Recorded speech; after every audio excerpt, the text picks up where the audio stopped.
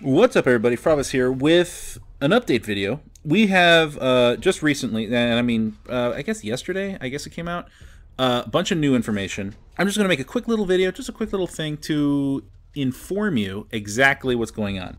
So you may have already known, I mean, if you play, that they already increased the daily quest reward and the game win reward. So whatever coins that you get when you win a game, that's been increased to 50, 50 coins rather than uh, 20 the daily quest rewards were increased. There's like a whole ratio of them. I mean, I'm not going to tell you exactly what the numbers are because, frankly, I, I, who cares?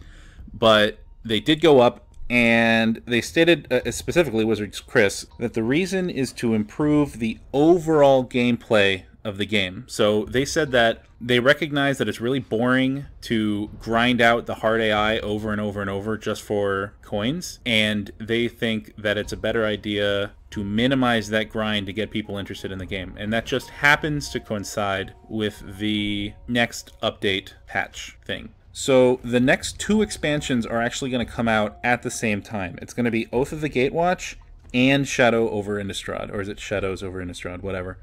And this should hopefully push them up to catch up with real paper magic because if you're aware like they're behind at least one not a block but at least one set a full set. So like people are playing oath of the gatewatch now and and duels is only on battle for zendikar.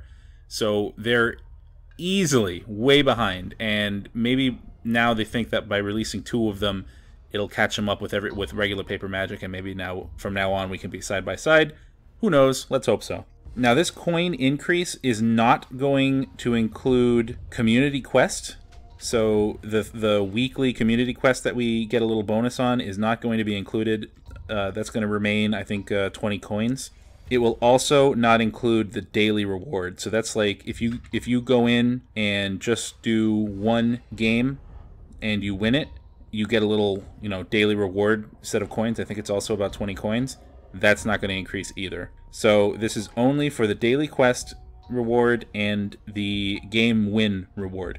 Also, the daily cap of coins earned is not going to change. So the daily gain is going to be the same, except it'll be a lot easier to get to that cap.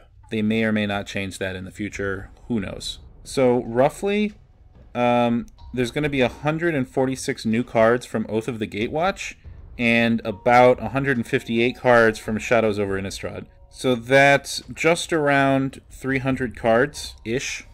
And they're going to be two separate packs. Again, they're released at the same time. There's just going to be it's it's it's like their regular update or at least a regular expansion, but at the same time rather than overtime. Something that might interest people uh, Wizards Chris actually confirmed that Two Headed Giant will reward coins, and I quote, soon, but not in this current update that we're talking about.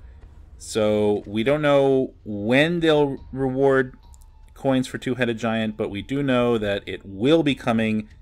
Who knows when? Soon means anything, honestly. We don't know. Now, something kind of interesting wastes uh, specifically the colorless mana land, those will be unlimited in the game. They're they're going to be treated exactly like regular basic lands, where you can just put as many as you want into your deck. Not actually as many as you want, because there are other limitations, but they'll be treated exactly the same as regular colored mana. I'm not really sure, or at least they didn't say that they're going if they're going to update the older cards with the new colorless mana symbol. Now, for those of you who don't know, in Oath of the Gatewatch, uh, colorless mana, specifically colorless mana, is a thing, and some cards require that you only spend colorless mana in their cost. And as a result of that, Wizards has changed the symbol. So it's not just going to be like a little gray one in a circle, it's going to be like this weird little diamond shape. I'm not sure if they're going to go back into the older cards in duels and change all that. So like all the Scion tokens, are they all going to say are are they all going to have the little diamond colorless mana symbol, or are they going to remain with a one? I would think that they change it, but you know who knows. All right, that's about it, guys. Um, can't think of anything else. Let me know in the comments if you have any other questions. I will definitely scour the internet for you and, and try to find out anything of interest. Obviously, I'm going to keep making regular content here and there. Nothing's really going to be changing for me anyway. In the background, you're probably watching me finish my last game there. You'll be seeing me open up my last pack for Battle for Zendikar, and I will be completely caught up in Battle for Zendikar. Very happy about that. I know it took me forever, but then again, I haven't been playing every day. I really haven't. I've been playing, you know, once a week or so. Just like I've only been playing like three to five games a week, honestly.